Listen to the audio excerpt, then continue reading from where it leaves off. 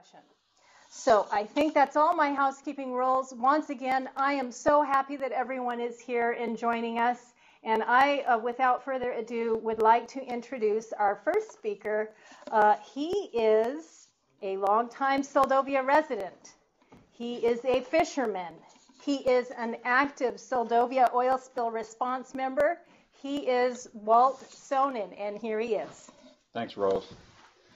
Uh, hi, I'm I'm Walt Sonnen. I'm the current president of the uh, Seldovia Oil Spill Response Team, and uh, the reason this event has occurred was that uh, here, uh, just about a month and a half ago, we had our annual Seldovia Oil Spill Response Team um, annual potluck, and it was not very well attended. And uh, so several of us decided that we might rev things up a little bit if here on the anniversary of the Exxon Valdez oil spill that, that we might get together with members of the community and talk about what happened and and uh, what occurred and what went through our minds and uh, it worked out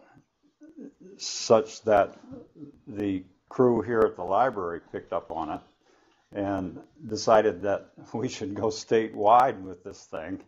And so here we are. Um, and our thoughts were that probably half of the people here in Seldovia weren't alive or were too young or didn't live here 25 years ago.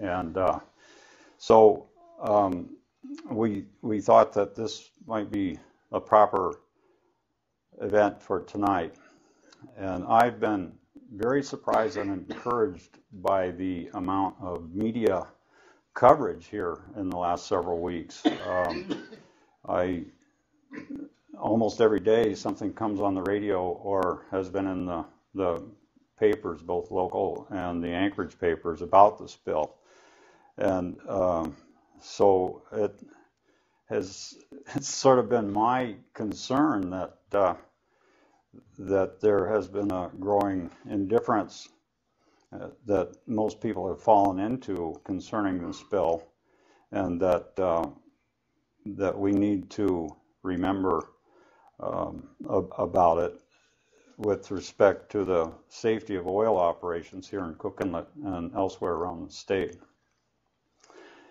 So, 25 years ago today, shortly after midnight, the Exxon Valdez hit Bligh Reef, and the resulting spill was 11 million gallons, and, and some argue that that may have been two to three times that much.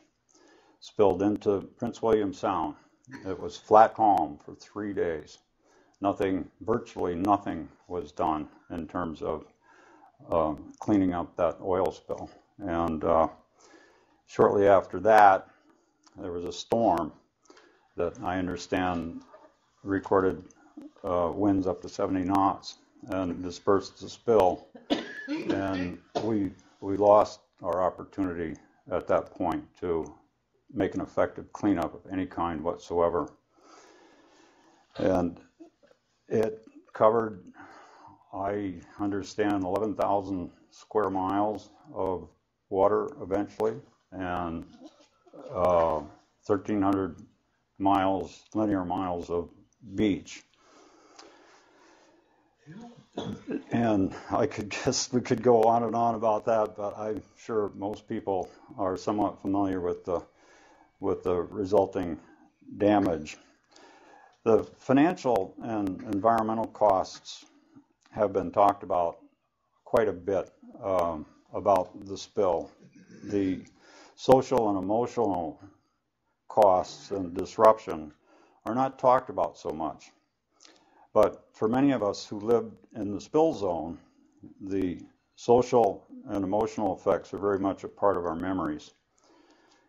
The only thing in my life that has affected me as much as the spill was a tour of duty in Vietnam in 1965 as a young Marine. It was indeed a watershed the spill was indeed a watershed event for many of us. So I would like to invite discussion, comments, questions, show and tell, what have you, uh, from all of you in this room and those of us online here, so that that we can um, celebrate this event by remembering. And before we move on to that phase, um, we have here uh, Tim Robertson, and he was the fellow who brainstormed and came up with the idea for this organization that we have had running here in town ever since, um, which is the Seldovia Oil Spill Response Team. We call it the SOS team, and it is unique in the state.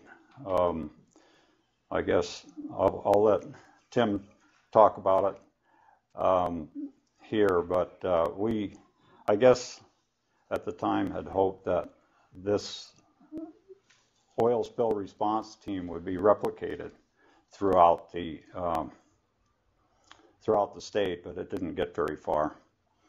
Tim.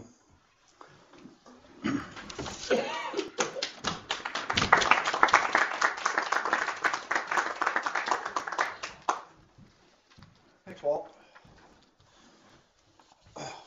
Well, uh, thank everyone for uh, showing up tonight and, uh, and joining us uh, in this 25th uh, remembrance of the Exxon Valdez oil spill. Uh, Walt gave me a list of the uh, communities that are online. I, I uh, thought that we would kind of start out with, uh, you know, who's here and what their involvement was and and what they know about the spill a little bit. So we've got 22 people present here in Seldovia and. Um, maybe we could just get a show of hands of everyone who wasn't born in 1989. So everyone here in Seldovia was born uh, uh, before 1989, and, and that says something about our audience tonight and, and the, the lack of younger folks that uh, that are, aren't aren't here, um, weren't around during the oil spill. Um, I guess uh, we'll we'll go to uh, Valdez next. And uh, how many people are there? You, I see three. Can hold up fingers or let us know.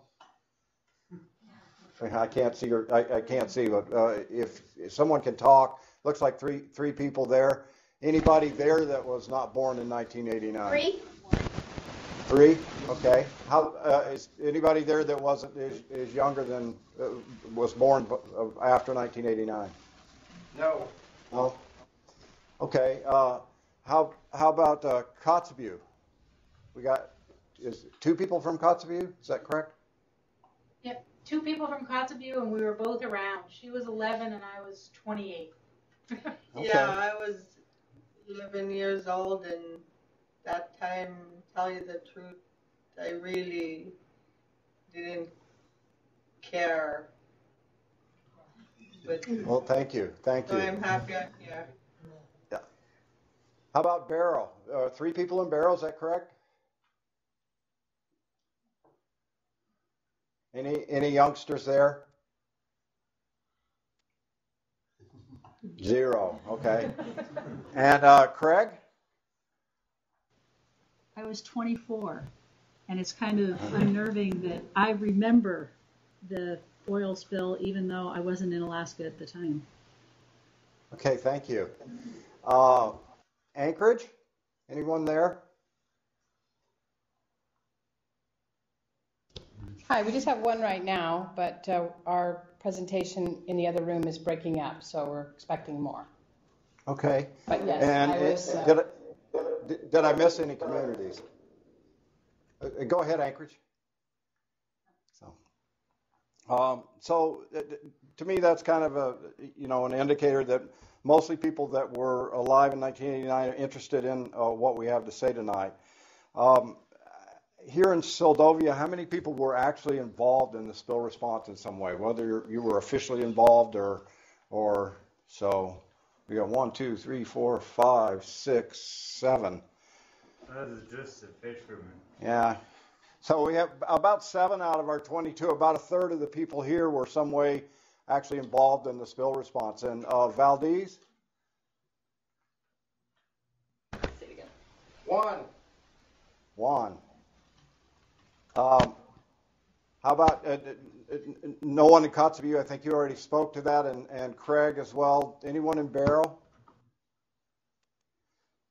So uh, not not many people actually have um, hands-on experience with the oil spill. Less than half of us, if you will. So, and that that really kind of surprises me because the Exxon Valdez was such a turning point in my life. It so much has defined me as a human being since then that I think everybody has that common experience. And uh, I think part of what we need to do 25 years after that uh, that experience for those of us that were involved in it is to share it a little bit and uh, to pass that along. Um, I guess there's some kind of saying about folks that uh, don't remember the mistakes that are made or doomed to repeat them or something like that. And so uh, you know, to be honest with you, it's not a topic that I really enjoy discussing. It's not something I have a, a lot of uh, of coming to anniversaries and talking about. But after 25 years, I think it's a it, it's time to do that. So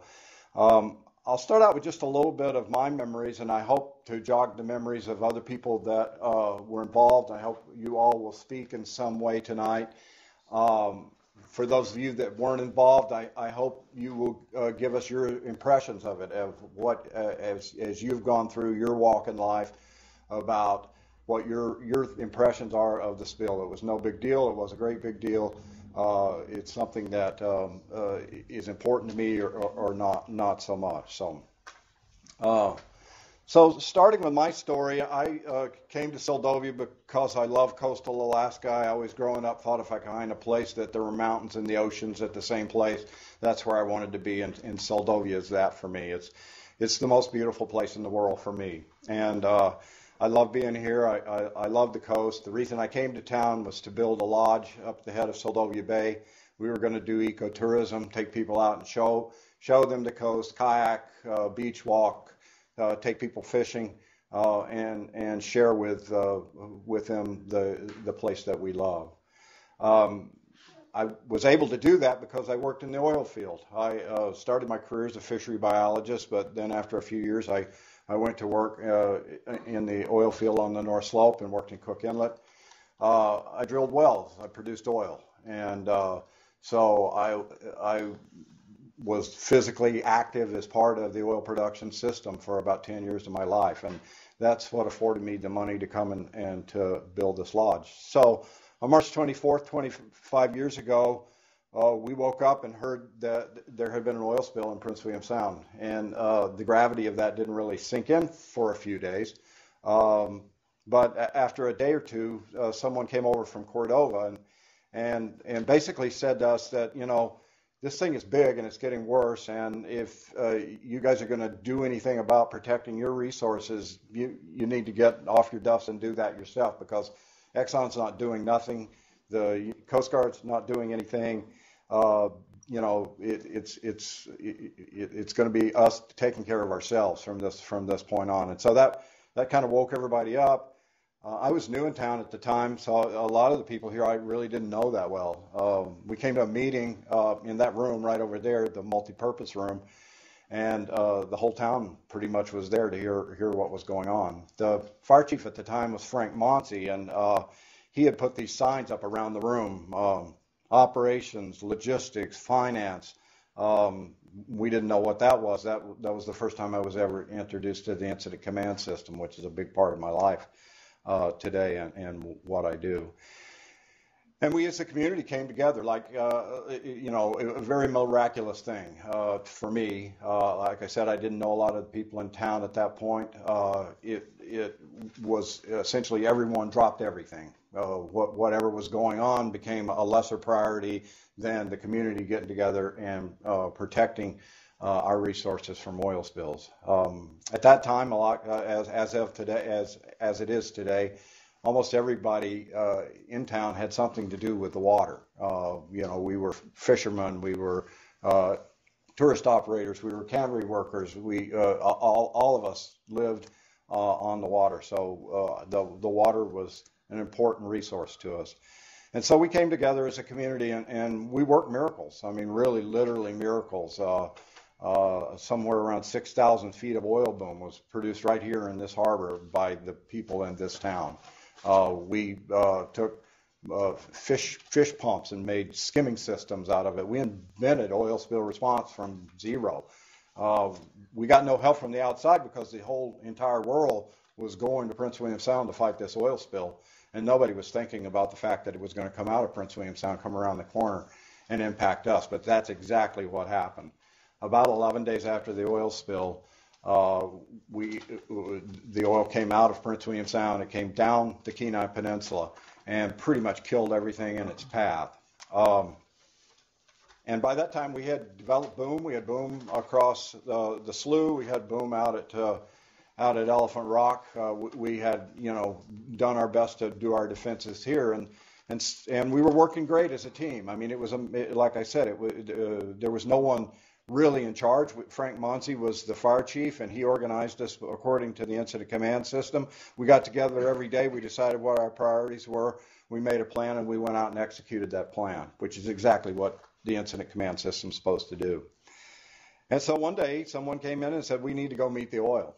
Uh, we can't wait on it to come to us." So we uh, put together skimming systems and boom that we'd made ourselves, and we essentially had every able-bodied man and boat in the harbor, and we left here and we went down. We stopped in Port Graham. We invited them to come join us, and uh, a number of their uh, folks came along as well. And we went down. We went around Point Adams, and and that's when the gravity of it really hit me for the first time of what this really was. Um, I know you've all, uh, everyone on uh, around the state tonight lives on the coast, and I know you know what it's like to be out on the water and on the beaches, and um, and to come around that corner at Point Adams and see what we saw, it was just devastating. I mean, there was no sound. Normally, you've got birds and animals and squawking and making noise, and, and there was nothing. There were no birds flying. And there was oil on the water. There was, uh, and when I say oil, I'm not talking like a slick of oil like you see on the um, on the pictures. It was uh, more like grease mixed with uh, uh, uh, seaweed and uh, birds and otters, and you know, it was just it was gross. It was really bad. But uh, the amazing thing was again that uh, the response of the people that uh, were here that lived on this coast and and depended on it. And we did our best. We really did. We we worked as a group, as a community. Um, I saw people that were you know, mortal em- enemies in the fishing industry, uh, you know, working together side by side. I saw guys that would, you know, knock you flat in the bar at the drop of a hat, standing on the beach crying their eyeballs out at what they saw.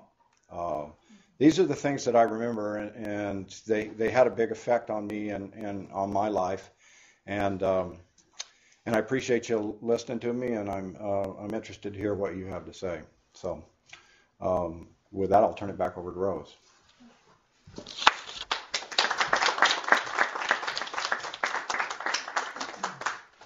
Thank you so much, Tim. Um, it's sometimes hard to hear about that without tears welling, um, but thank you for your story. So, at this point, I would like to start with the audience in Seldovia to um, ask you to share your stories.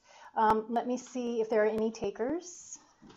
Okay, come on up. I'd like to introduce Mr. Craig Higman, please.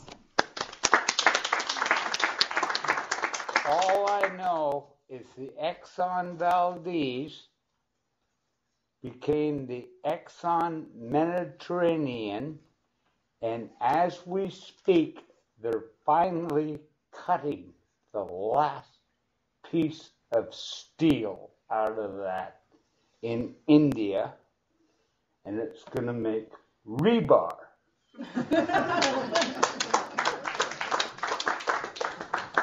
Thank you very much, Higgy. And um, okay, Walter McInnes, come on up.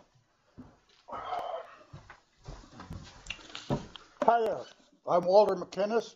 I came here in 1960. And I was here when the oil spill situation happened and know many of the participants, including my own family. The mention was made of social and emotional, and I, I know you can certainly pick up from what Mr. Robertson and from Walter Sonnen said that it was very emotional. And community wise, everybody responded. And a couple of days ago, I seen a Homer newspaper where it showed some people uh, remembering this event, and uh, one of the signs that was held up from one of the places in one, can't remember, it was Halibut Cove or here, that said, "You're not going to stop us." I'm going to say that again. You are not going to stop us. And it referred to the government and to the Coast Guard because people were not going to be held back from protecting their own. And by their own, I mean their jobs, their community, their ocean, their food, their life. I seen a couple of friends sit down, have a couple of drinks after a week or two, and one turned to the other and more or less said, You're a traitor. A lot of people from here, including my daughter, worked on that oil spill. The deal was the person who said you're a traitor was crying. And they were crying because that's how emotional and how upset they were by the oil spill and what it was doing to their lives. What it did to my life, I, uh, the mayor at the time was Jerry Willer, and he responded strongly. I wanted to go, but he said, Walter, you cover me with the electric company and I'll pay you back later. So I didn't go. My oldest daughter went with Mr. Robertson, and what Mr. Robertson did not mention, and I certainly will, because it goes along with what I said about, hey, we're going. Who do we rely on most? Who do we respect the most? Who do we get the most from at a time like this? Our neighbors. That's where it comes from. Not from the Coast Guard, pardon me, they did their own thing. Certainly not from the oil companies. And when Mr. Robertson left here to go and fight the oil with volunteer people, they were signed up with an outfit that was supposed to be paying them. And they got part way down, and that outfit called them from Homer Spit and told them to come back. And here's where my pride comes in for this community and anybody who went down there, including my daughter. They said, We're not coming back. We're going to fight the oil. And that's what happened in this whole area. Everybody had the guts, the courage, the stamina to stand up. The school kids were organized and were part of their school. They came down and built booms on the beaches. The booms were made of whatever material that could be gotten. And I did see this in the Homer News where they showed a couple of the other bays up, up the bay a ways where they did the same thing. They just picked up everything they had and tied it together to make a boom. There, I don't know, I would say we're fortunate in so much we have a memory and that we know what this oil spill was. We know enough not to forget it. Not we know enough not to let somebody say, "Oh, that's all in the past," or "Oh, uh, you know, forget uh, forget that stuff. we need we need to have more boats or less boats, or we need less tugs, or we need less environmental coverage." We need to remember and we need to pay attention. And right there, Sarah Baxter, she's been on top of this situation since the beginning. She has fish sites on McDonald's Spit for since before I come here, and she's been involved with the Seldovia Oil Spill organization all the way. And the people who are involved with it are very strongly committed. And that's in my comments. You all have, I hope you remember.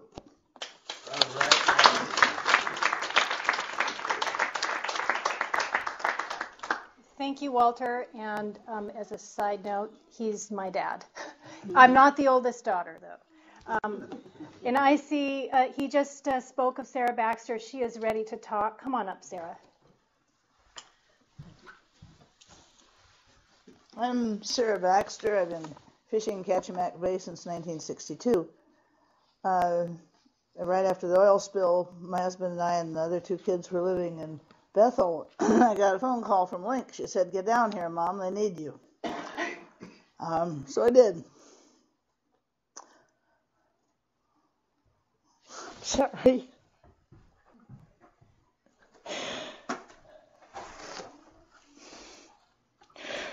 Well, I started out building Harbor Boom, and uh, we did that for several days.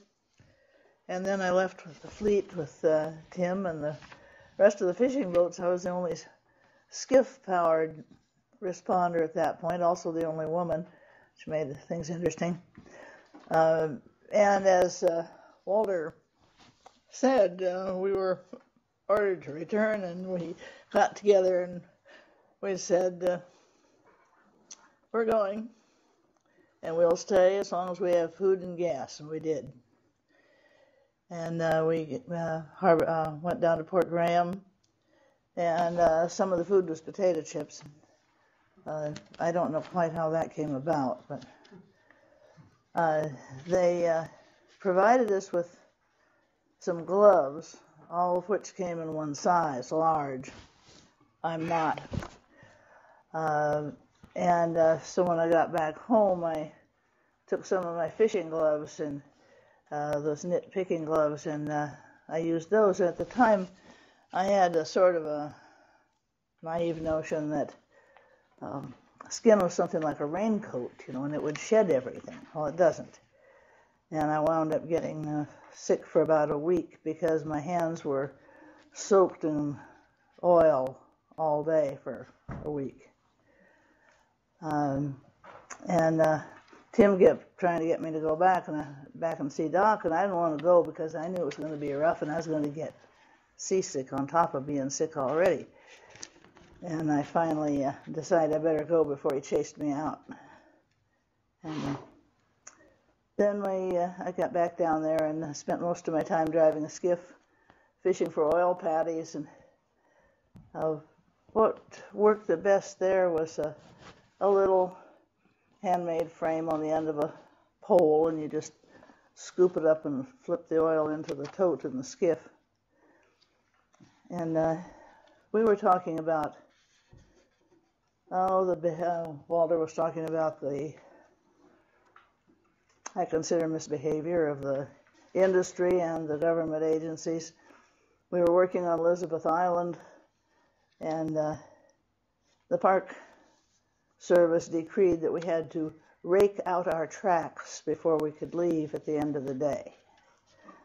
They were so worried about us contaminating a beach where I counted 17, I picked up 17 dead murres that were so covered with oil that you could see nothing but it was just a lump. And after a while, you learned, well, that's the right size of a lump, that's a bird. Uh, we uh, forget who it was. I think maybe it was Carl Pulliam. Uh, came by and asked me, uh, you know, what can you use? What can I? What can we do for you? I said, get us two four wheelers and trailers so we can haul this stuff up to the dump. There's a, a temporary dump made for the plastic bags we were putting the oil in, and uh, we were having to carry them up there. I said, well, give us a couple four wheelers. They got us one. I'm sure they were down to their last dollar to do that. Uh, but uh, that made it a lot more efficient. So instead of dragging those plastic bags up the beach, we could get another empty one and fill it. And uh, then uh, we were, I was uh, bunking on the on the Kasilof, uh, which uh, was the supply barge. Uh, it was, uh, I think, the only vessel in the fleet that had a spare stateroom, so I got a room all to myself. Uh, it was about four feet wide, and mm-hmm.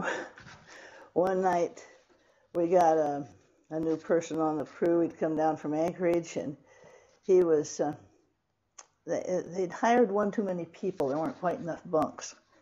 So he wound up bunking on the floor in the galley, which wasn't that big a deal, except he snored. He was terrible.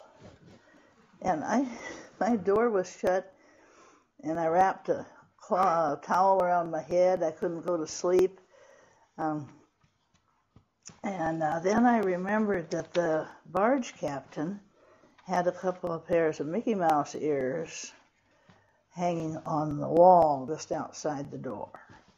Because every time he went down to check on the engines, he put on these Mickey Mouse ears. And I thought, I'll wake up in time and I'll get those back before Lee gets up.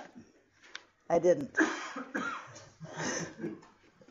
so I snuck one, his best pair, of course, because they were on top and I got those on, and then I had to wrap a towel around my head in order to muffle that well enough to go to sleep, as tired as I was. And uh, next morning, I was wakened up by sounds of indignation, and uh, oh my gosh! So I grabbed the Mickey Mouse ears off my head and stuck my arm out the door and says, "Were you looking for these?" And uh, Lee just kind of looked at me like I could do without this.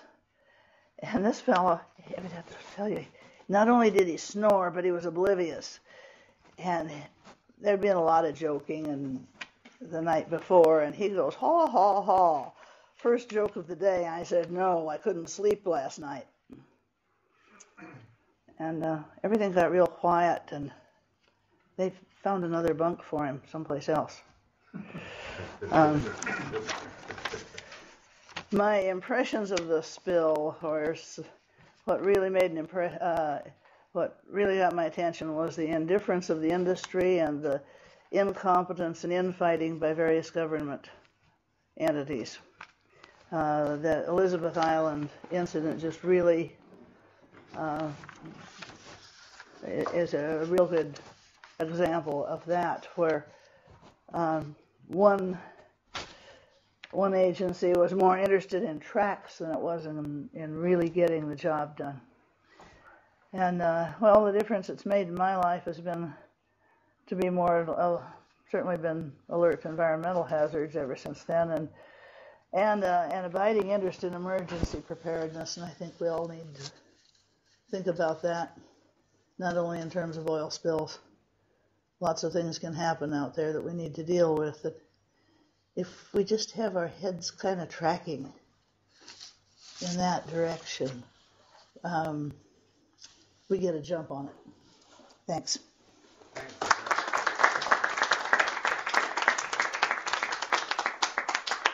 Thank you. That was Sarah Baxter. And let me scan the audience here in Seldovia to see if there are other people that would like to speak. Is there anyone that can remember the school and what they did? Besides me? Go ahead. um, I, I, any, yeah, let the audience. I know that I see one, two, three of the people that I went to school with, who four and four, if you count staff or uh, a helper, that would have been there at the time. And one thing that happened here in Seldovia is uh, I think it was previously mentioned, but our whole community came together. They shut our school down for three days. And for three days, every single child that was enrolled in the school was given a job to do. Most of us helped to build booms. We went out to a big long beach, which is about a mile out of town here, and we lined the parts up all along the beach. There were little, little kids working on it all the way up to, I was a senior in high school at the time. We were given um, jobs like rolling out the plastic. Some of us got to take pictures. Some of us got to collect up the parts. Um, and uh, I think as a school child, it was really interesting um, memory that I have is going into that command center that Tim um, described. It's a room just across the hall here. And it felt like, not knowing much because I was just a young girl, but it felt like walking into a black room. Now, mind you, there are windows all around this room with light going in, but you went into the, the room and the immediate mood, the immediate feeling that you got was this curtain of blackness, this heavy veiled sense of the, the magnitude of the situation. So that's my memory. Um, I did bring an item, and we're going to see if it's a it's a small little item, but uh, we went beachcombing a lot, and here is a rock with Exxon oil on it.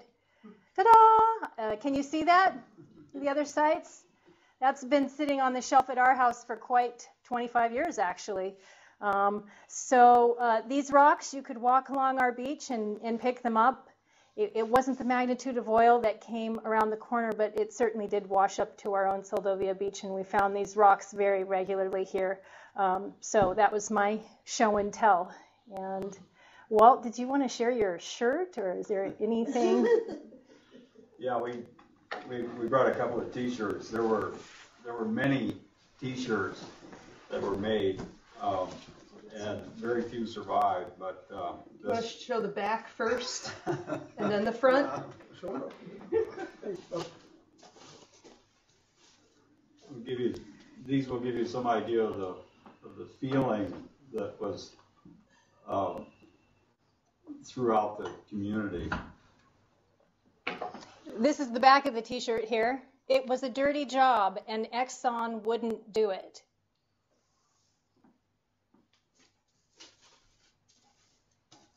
And uh, what did the ORT stand for? Oil Spill Response Team. Oil Response Team. Yeah. Did you draw that picture, Dee Dee? the the the artist of that picture is here tonight. Yeah, forgot about that one. Yeah. And um, swirling around the room, that green book, if you could let that book make its way up here.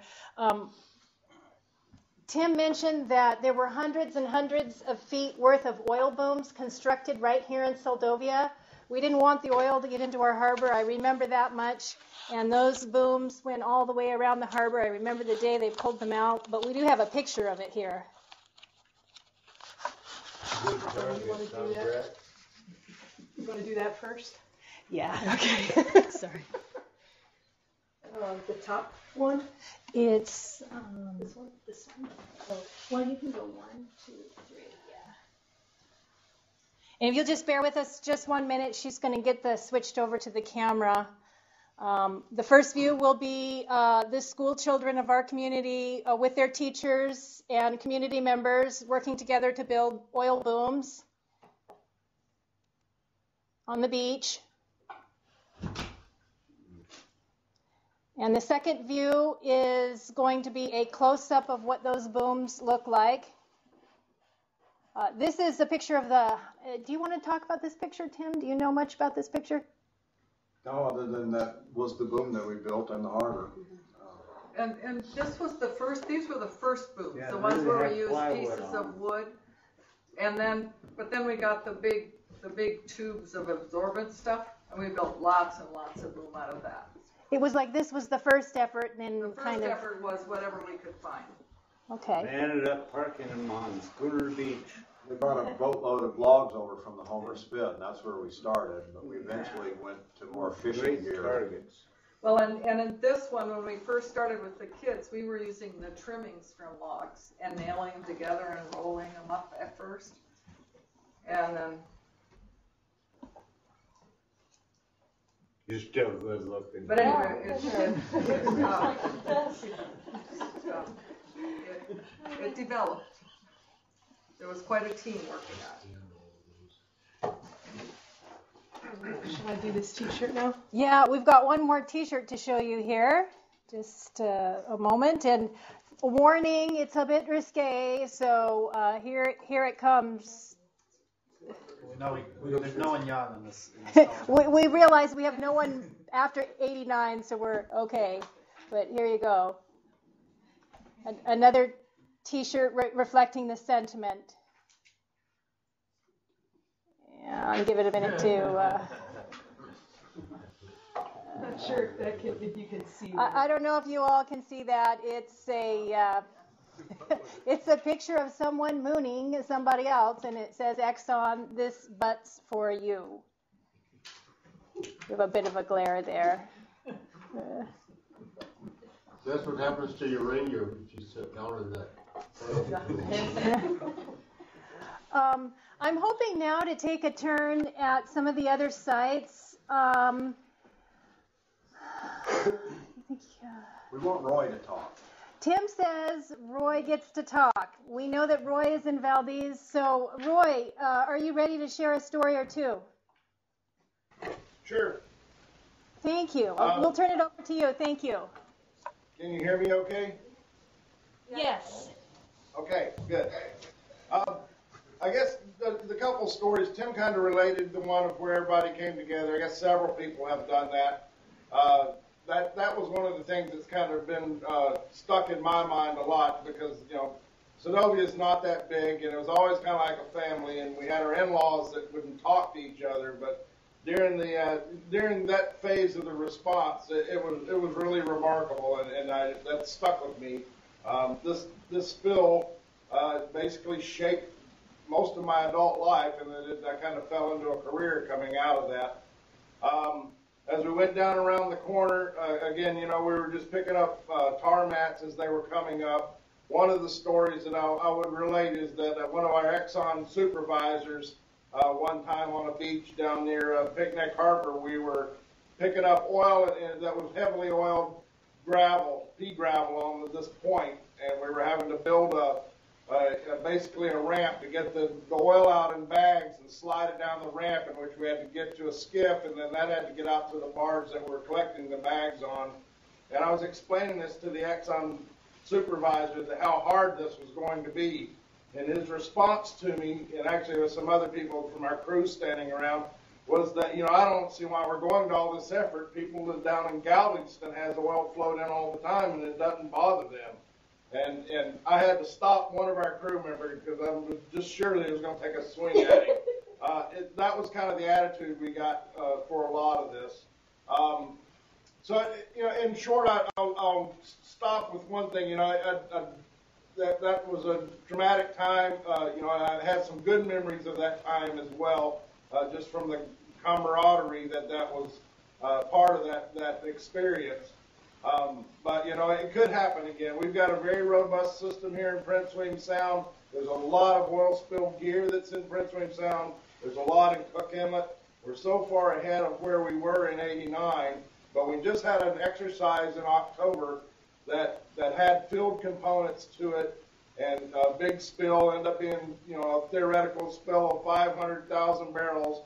And in 48 hours, we could not pick anything up because of the weather.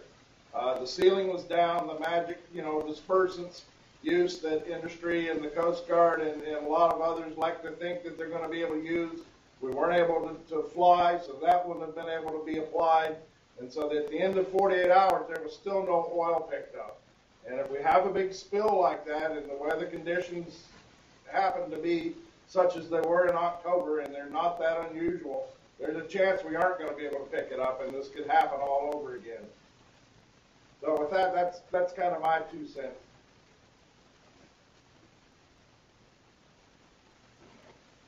Thank you very much. Yeah, that's a little scary to think about that. Um, I think I'll go to the other sites now, and some of you may not have been here or been involved, but you may have questions. So um, I'll go to Craig, um, and for my audience, Craig is uh, the library in the middle on the bottom. Uh, do either of you have a question or anything to add, Amy? Yeah, uh, I got to pass through you guys' country as a commercial fisherman before the spill. And pretty interesting. And then uh, after the spill, uh, got involved with uh, spill response, just traveling around Alaska, looking at different. There was no oil boom. There was no containment. Now all the coastal communities have something in place. That's the worst thing I like to do is drag out an oil boom because that means there's a problem. And it's nothing compared to what happened up in you guys' part of the country. But when I first got up to Prince William Sound, there was a lot of sea otter, a lot of life. And uh, now we got the sea otter down here, and we got our problems with the sea otter. But did your harbors ever come back? Your sound ever come back? It's my understanding you guys are still washing rocks every time somebody turns one over. And that's probably one of the southeast beaches where the weather just blew it up there. So, writing's on the wall. It's going to happen again, maybe not here, maybe on the Oshkosh Sea because they're drilling out there next to, and no telling. It's happening all over the place, and it's just greed. It's going to happen. Either oil or mining. It's going to choke us out. So that's my view. You know, I got my time on the water. I'm about ready to get off, but no place to go. You know, what's the old saying? Don't shit where you eat. Sorry, that's the way I look at it. I'm just being shy and bashful. That's my three cents. Thank you very much. Uh, I would. Uh, does anybody from SOS have anything they want to add or any comment to make about what he had to say? But do you still have Thanks for- problems there? Do you still have problems there with with the oil? I mean, it is right below the surface on the beaches. I mean, at least that's what we all understand. So every now and again, does a storm come through and turn something over, and oh my heck, there it is. More on Prince William Sound side than here. So one of the audience members, if you didn't hear her, she said it's more on the other side of the inlet from where we are, Other side of uh, other side of the peninsula. Um, um, however, I will say that they're finishing up their conference there in, in Anchorage very soon, so we'll be able to maybe hear a little bit about that. Um, it, I, I, comments, anyone? I thought the, the article in the Daily News today was really pretty good about what the lingering effects of the oil spill are. I think that's kind of the state of knowledge. Um, and rather than repeat that, I just refer people to, to, to that article that was published this morning. Okay, if you didn't hear, Tim is saying that the um, article published in the Anchorage Daily News this morning really um, um, encompassed the effects of that, and then he's referring you to that article. He says, good article about that. Um, so moving on here, we are getting closer to our 8 o'clock time. Um, so we may be interrupted any minute to get Riki Ott on and the folks at the Anchorage Library, but not quite yet. I, I want to go ahead and give Barrow a chance. Um, your room has been filling up throughout the evening, and I'm excited about that. Uh, do any of you there have any questions or anything you would like to add? What, what we realize here um, and, um, is that you may be facing um, very nearly soon, and if I say this wrong, I'll have the SOS team correct me, that, that uh, the opening of the Northwest Passage as shipping lanes, and that the melting ice may soon affect uh, your communities there in Kotzebue and in Barrow, and that oil spill response on the water is going to become perhaps a very real uh, issue for you. Um, did I summarize that correctly? So, uh, with that said, we're, we're very happy that you had joined us, and we uh, want to open the floor to you now in case you have any questions or comments or anything to add. And we'll go to Barrow now. Can you hear us okay, Barrow?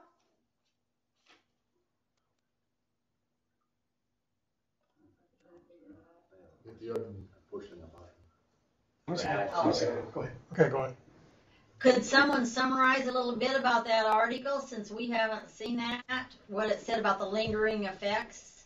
I did see on the internet that the herring didn't come back.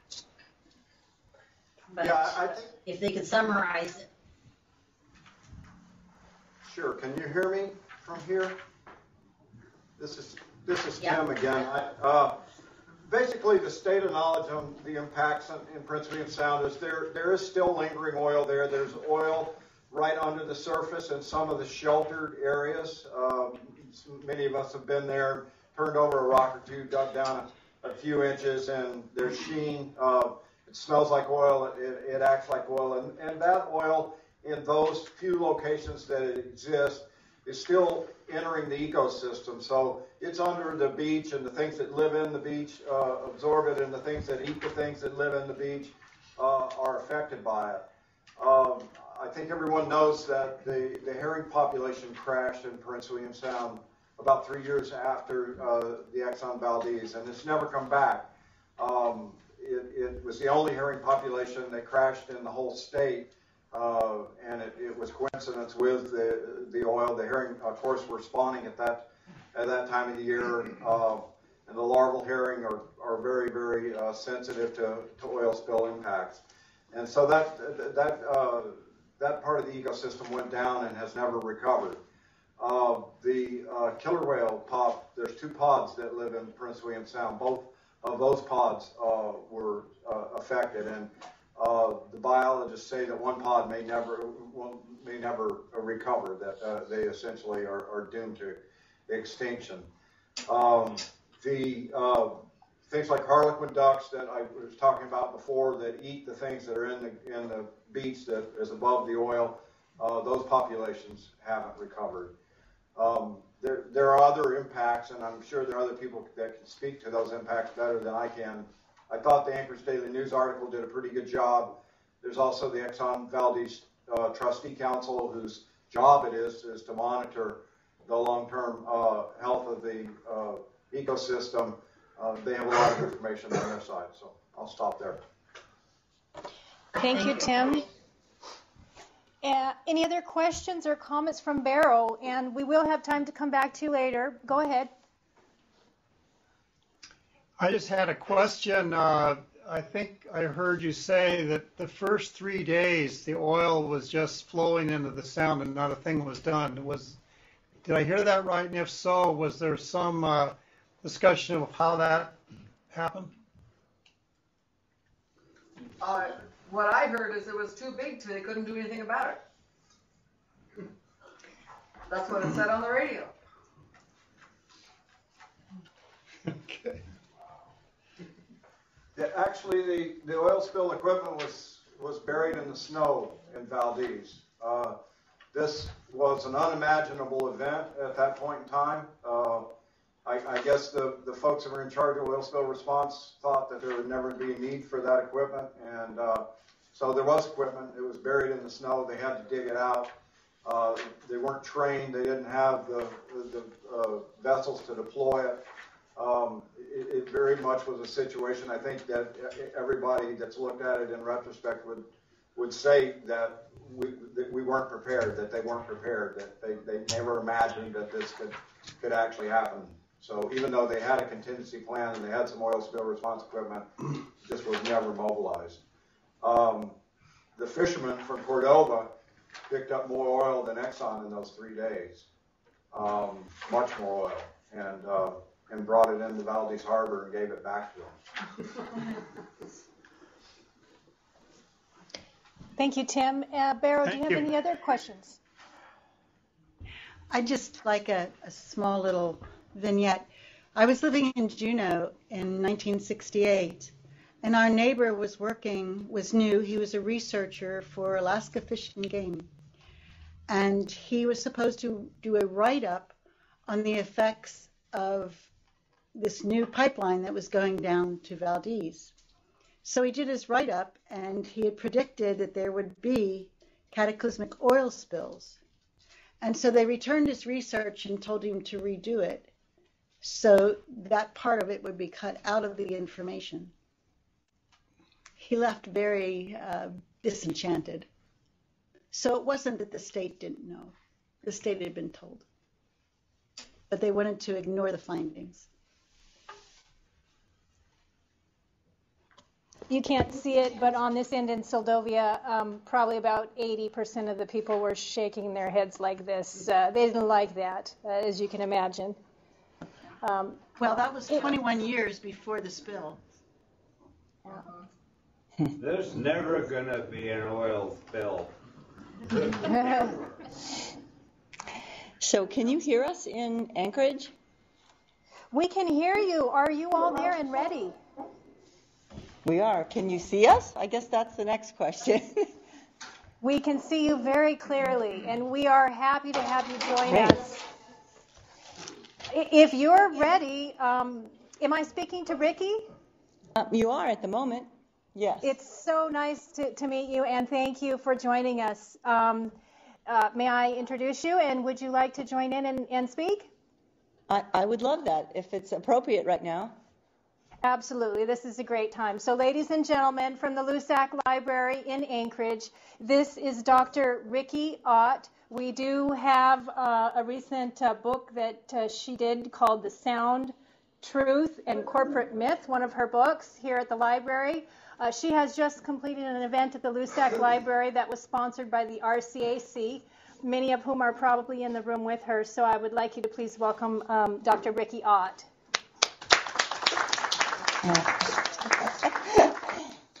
okay, thank you. Um, I guess first off, I'd just like to say to um, Barrow and some of the other um, sites that um, I definitely uh, did a tour across the North Slope with uh, Rosemary Ahtuangaruak, um, Earl Kingik um, in, let's see, 2008 in January, and in 2006 in December.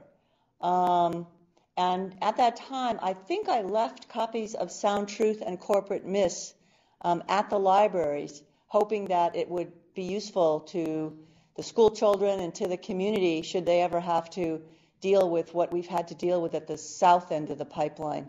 Um, so that book is there.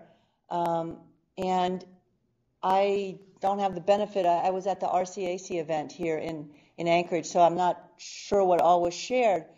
But um, I think I'd like to, if it's all right, just start with a little personal story and then kind of morph into what I see are the, the four big lessons from the Exxon Valdez and kind of where things are at right now, where there's opportunities um, to strengthen oil spill prevention and response.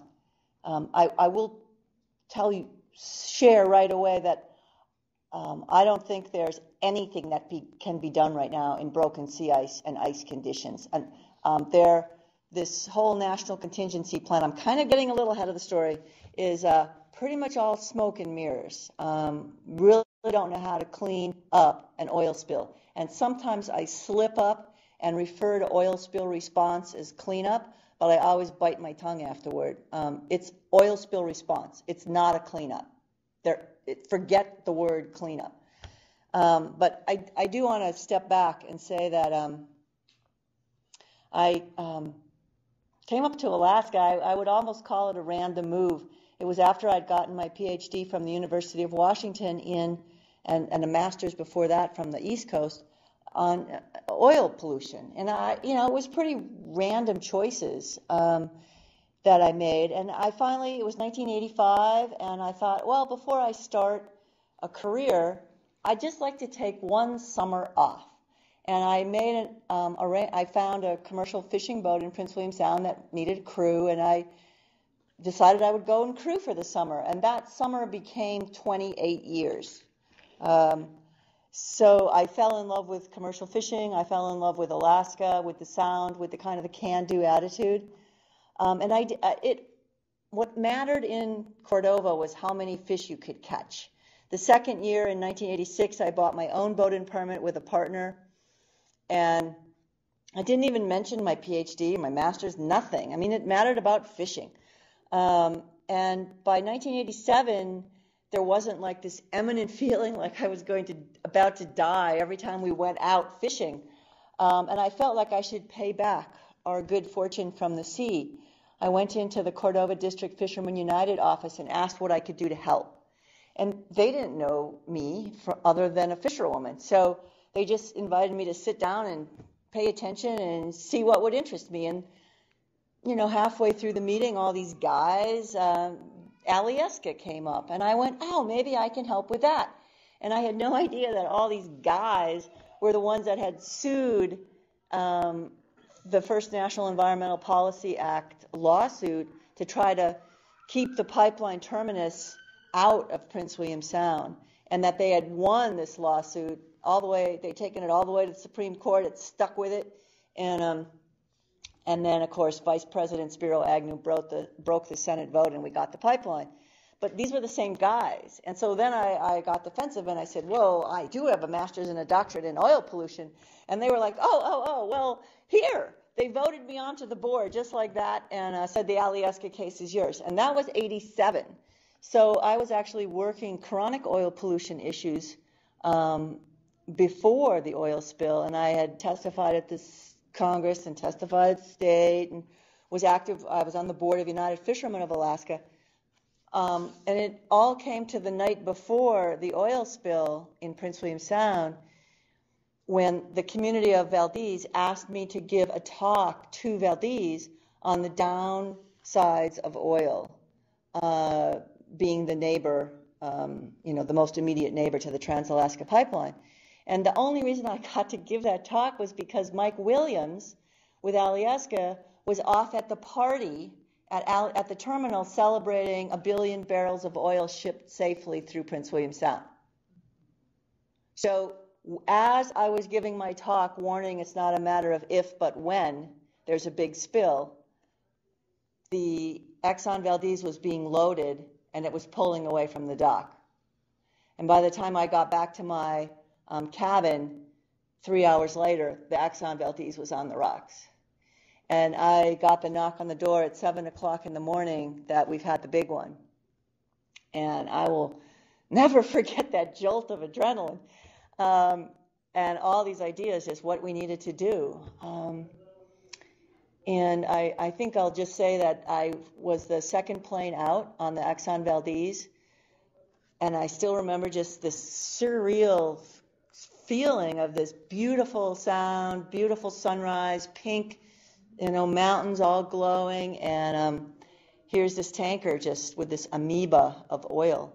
And um, I knew that it didn't say, stay uh, calm very long in Prince William Sound in March, and it would just be a matter of time and I knew from my academic training what would happen, or most likely what would happen to the biology, to the ecosystem. Um, and I remember thinking, this is too big for one person. This is too much. This is all going to be ruined. I should just leave right now uh, and sell my fishing permit and get out. And then I remember thinking, wait a minute, I know enough to make a difference. Do I care enough? And I think that's why you're all here and why Barrow, even though they haven't had a big spill yet, and the other communities that haven't, is you can you can kind of see beyond tomorrow. You can see that it's if it if things are going to change, it's because of people like us that care, um, care before the disaster happens, has the have the imagination to realize that this could happen in my backyard, and have the courage to step up and say, well, I better learn what I can do now um, um, to either prevent something like this or, in hindsight, to make it to better so that this maybe won't happen again or will be more prepared. Um, and I, so basically, 20 years shot by, and um, what I really learned was how much it hurt a community. Um, I will say that I went down, well, I'm, I'm, I'm going to do a little playing with time here back and forth, but just to say that um, when the fish runs collapsed in 1993, pink salmon and herring, um, the fishermen and the native people said, hey, you know, it doesn't take a rocket scientist. All those bays that trap the oil, That's where all the young of the year, those are the nurseries grounds for the young of the year. What do you think is going to happen to the little eggs, to the little fish? The fishermen and the native people all said, we have to wait. We have to wait to see if the fish survive and grow up to be adults, if those adults can produce offspring that live as opposed to die. So we all knew that there was going to be like this hiatus of literally four years. People had it pegged four years. We had to wait four years before we called it all clear. And what happened? Four years later, wham. Definitely not an all clear. It was like all disaster. So the killing did not stop in 1989, the year of the spill. And that's one thing that the scientists who came in, their understanding at the time was, was not that. Their understanding was that there would be a rapid recovery and um, things would be back to normal. And that is just not what happened. And this, there was a, well, I guess you have discussed the, the science angle that oil is a thousand more times toxic than we thought in the 1970s. Um, 20 years after the Exxon Valdez, we knew that. The papers were coming out. Zero public policy has changed to accommodate that the laws need to change to better protect the environment. Zero. All right? So, um, meanwhile, there's the problem of if it was sick for the made the wildlife sick, people aren't that much different from marine mammals and what did it do to the people and i had focused on the the ecosystem but i kept hearing all these stories of my friends who came in from from the oil spill uh, response to shift over to commercial fishing. They're sick, they have these rashes, they have these headaches, dizziness, uh, cold and flu like symptoms. Riki, what's wrong? What's wrong? And I'm like, I'm a marine toxicologist, not a doctor. Surely the doctors will take care of this. I didn't know that the medical science was not advanced at that point either. Um, and ultimately, 13 years after the Exxon Valdez, I teamed up with Alaska Community Action on Toxics, who some of you might know, and who I really um, uh, support and I'm very respectful of the work that they do, Pam Miller and company. Um, and we teamed up and we sort of went, did an investigation 13 years later to figure out were there, what were the ties, what were the dots that we could connect. And we found court records. I went down to Dallas and talked to the doctor down there that had treated people uh, who came down from um, Alaska. There weren't very many chemical illness treatment centers, chemical detox centers, not from from alcohol, but but from chronic pollution in your environment problems, uh, breathing polluted air, drinking contaminated water, the stuff that kind of sticks in you. So the fishermen, a lot of the, uh, maybe a couple dozen of the uh, oil spill cleanup workers had, had found their way to this clinic in Dallas. And I went down there and interviewed the doctor, and he was like, Look, if you have sick people and you have sick wildlife, and they're sick because of the same chemical, that's the strongest evidence you have that that chemical is a problem. And I'm like, But it's oil. And he said, So? And this was Dr. Rea at Environmental Health Clinic in Dallas. And I realized, oh my God, I have to take on the whole oil industry, not just Exxon, because at that point I was contemplating writing my first book, which became Sound Truth and Corporate Myths. So part one of that is oil effects on people. Part two is oil effects on animals. Part three is what policies do we need to change now that we know that oil is more toxic. So, um, and unfortunately, the symptoms for chemical illness uh, from oil exposure uh, resemble very normal symptoms cold and flu like symptoms, dizziness, headaches, nausea. Those are central nervous system problems. Um, skin uh, rashes, um, um, blood disorders. Okay, that freaked people out a little bit when they were like vomiting blood or peeing blood. Um, but what people essentially did was they normalized the abnormal. They said, oh, you know, I've got the Valdez crud. I've got this high paying cleanup job. I'll get better once I go home. Well, that didn't happen. Somebody told me in, uh, in um, 2001, I thought I had the Valdez crud in 1989. I didn't think I would have it for 13 years. And unfortunately, that's the problem um, that repeated during the BP disaster. So I just uh, want to summarize and say the field, this is the second paradigm shift, if you will, um, after Exxon Valdez. Yes, oil is a thousand times more toxic to wildlife. A paradigm shift is when scientists understand the world one way, like, oh, the world is flat.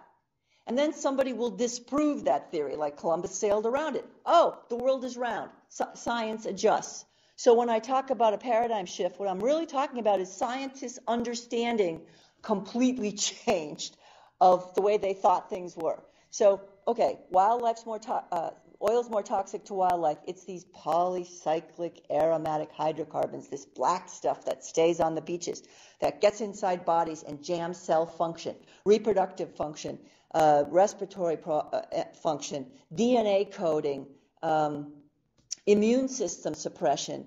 Um, uh, it's a systemic poison. That is how the medical community now recognizes oil, ordinary oil, all right? Before we even put dispersants on it. Oil is a systemic poison. So then there's the problem, which I'm sure you've discussed, there are all these, met, um, it hurts. Communities fall apart during an oil disaster. During a um, natural disaster, communities pull together, put out the fire, put out the earthquake, um, or not put out the earthquake, respond to the earthquake, help people who've lost their homes, find people, uh, build the sandbags for a flood. People pull together and work together. But in a um, man made disaster, there's a spiller, there's a money flying around, somebody gets paid, somebody doesn't, maybe your brothers, and it, it, it just goes like this. Maybe your best friends, you know, you have identical boats, and somebody's getting paid three times as much as you. Man, things just fly apart. So when I went down to the BP, oh, uh, so let me describe this. So we were in court for 20 years fighting Exxon, who had said four years after the days, four days after the spill, Exxon showed up in Cordova and said, "We will make you whole." No lawsuit has ever taken 20 years. Bring us your damages, show us how we can compensate you. We will make you whole. And we were dumb enough to believe him. Um, and it turned out in our 20 year lawsuit that subsistence culture, subsistence harvesting um, didn't even factor in to the legal system because you had to be able to put a dollar amount on what you lost. And in a subsistence culture, you cannot do that because it's priceless this ability to do what you've done for time memorial.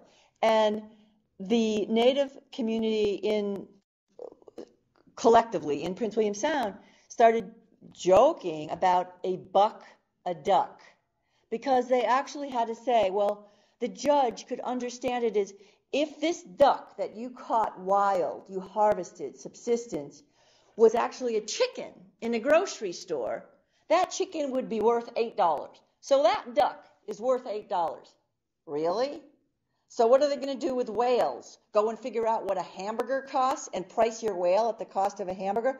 The legal system, it, it, it's like subsistence is a square and you're trying to put it in a round hole. It just doesn't fit, okay?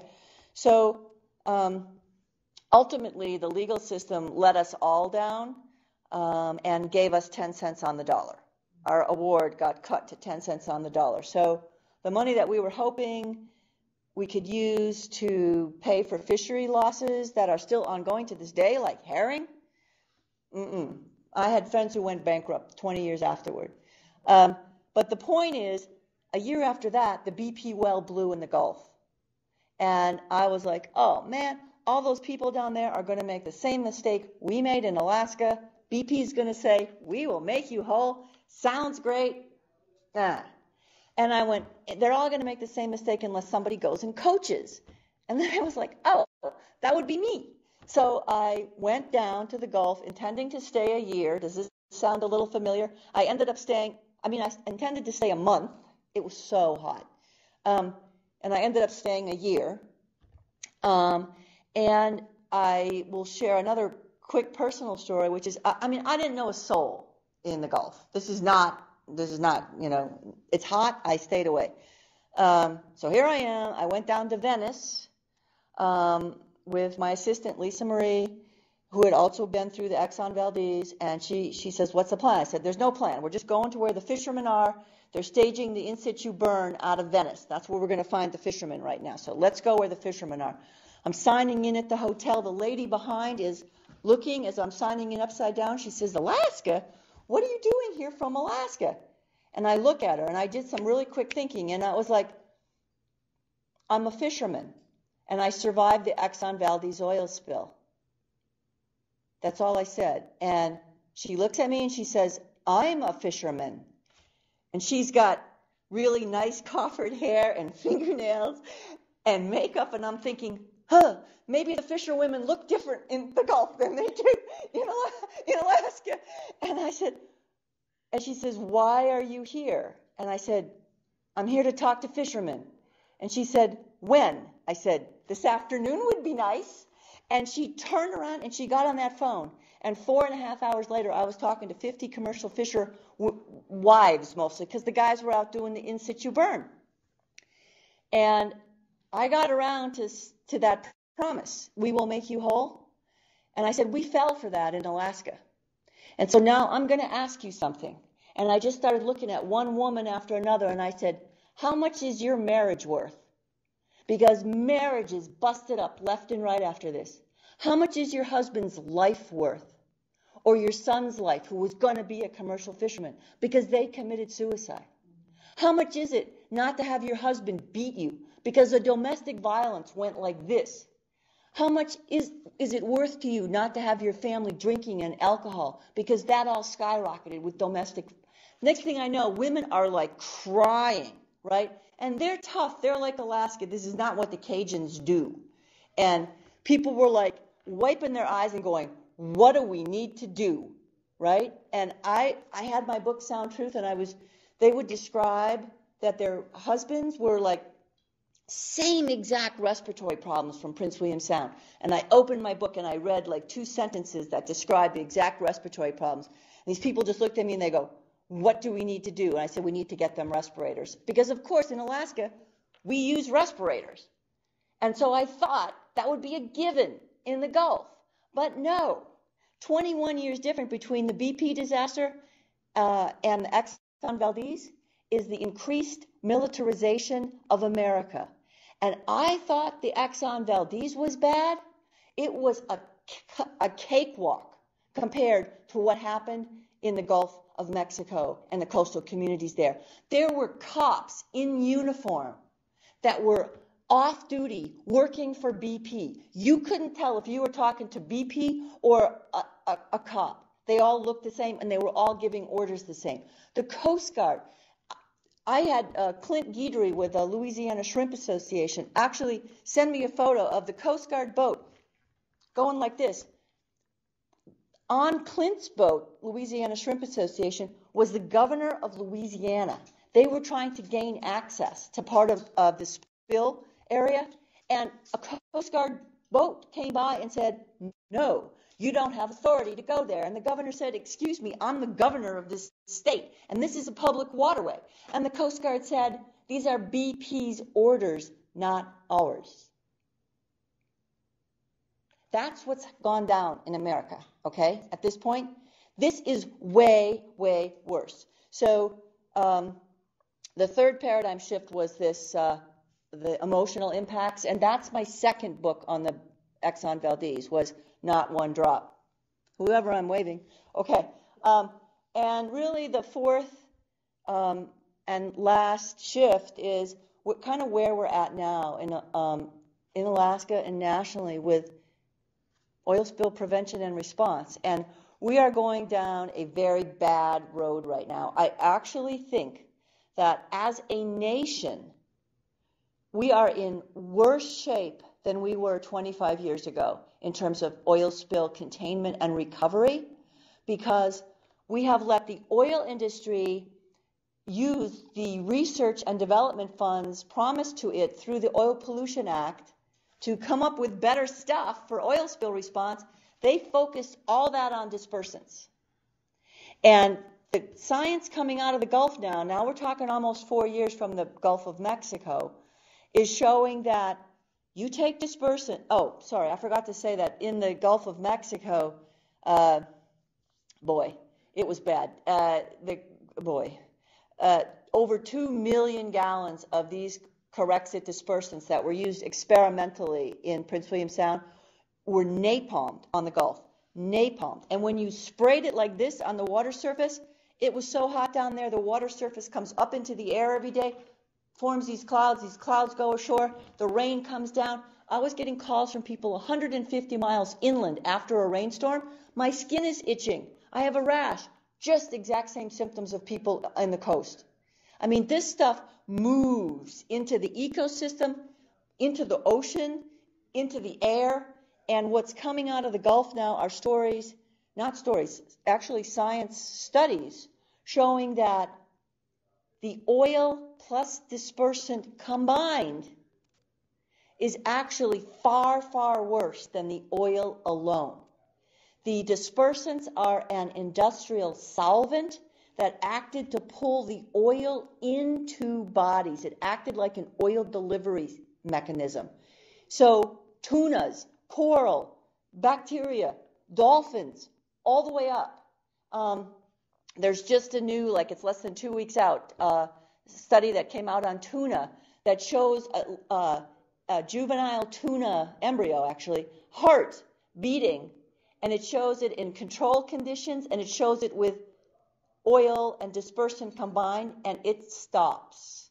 It's arrhythmia. And of course, in the Gulf, it's tuna is their big fish, right? As a well, that's not a pun, but uh, um, and salmon up up in Alaska.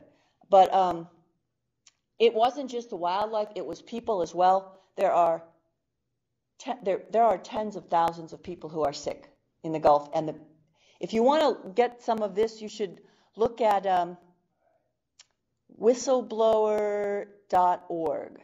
It's the, you could just Google Government Accountability Project.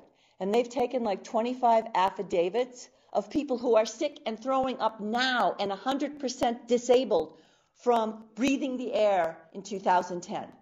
That's how bad this stuff is. And what does the um, Alaska um, Regional Response Team want to do? They want to pre authorize dispersant use in Alaska.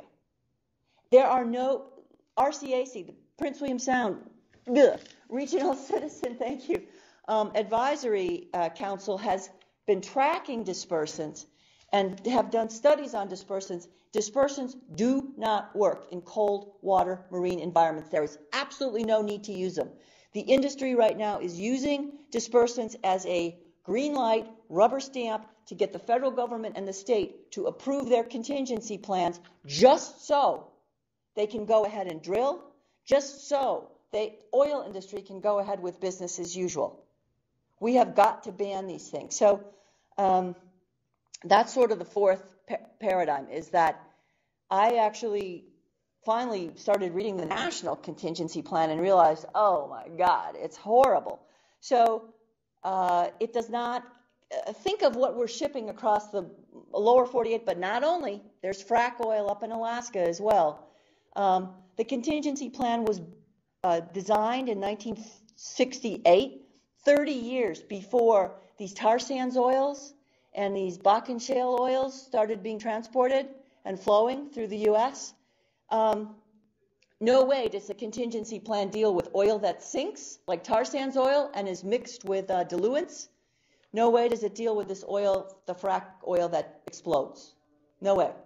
So, um, I guess I'll just I'll just do some questions maybe. I don't know. How do you want to do it? I mean, I, uh, oh, so Riki R I K I Ott O T T dot com.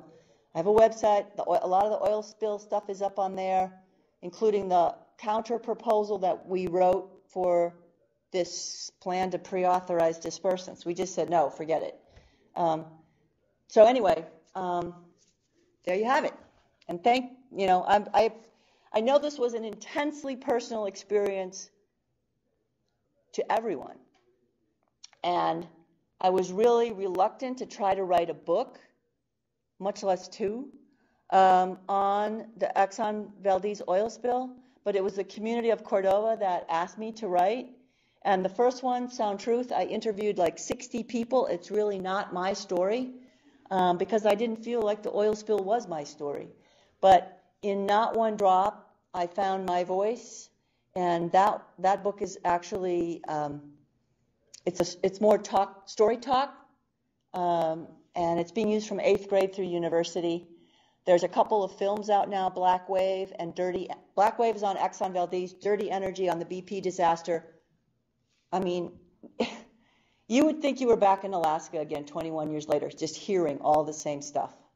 So, all right, thank you all.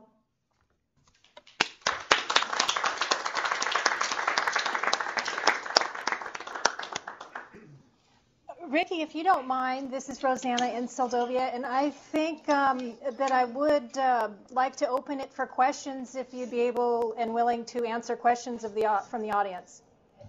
Absolutely. And I don't know if there's anybody else here in Anchorage that would like to talk as well, but anyway. Steve? So I, I questions is fine.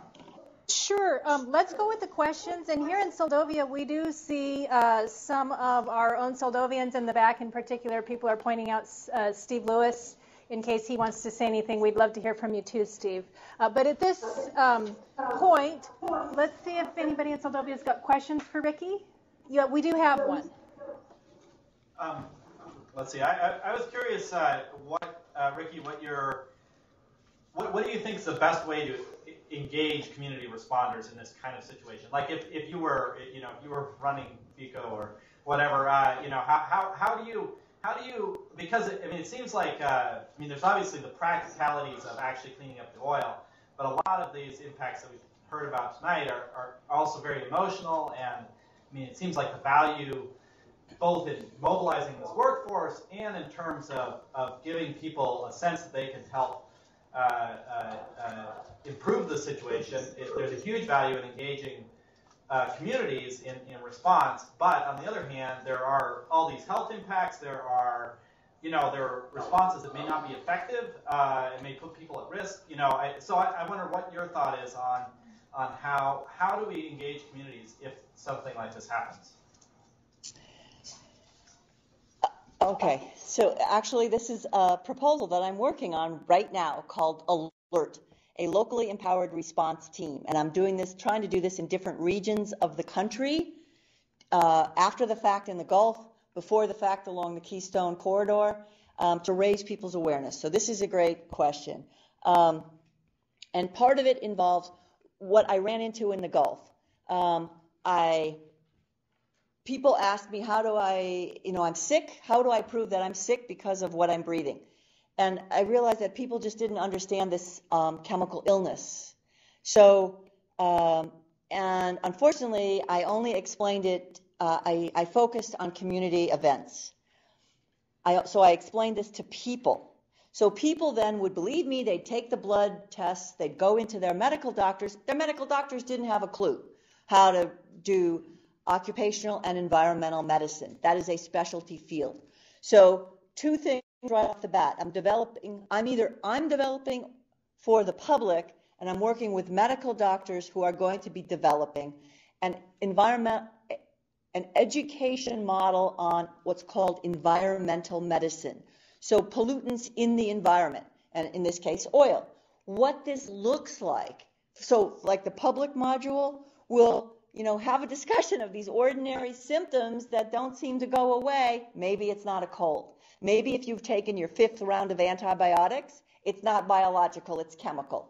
Um, so there's a, I think there's a, um, I know the peer listening uh, program went through um, for mental health and behavioral problems, but there was really no equivalent for physical health problems.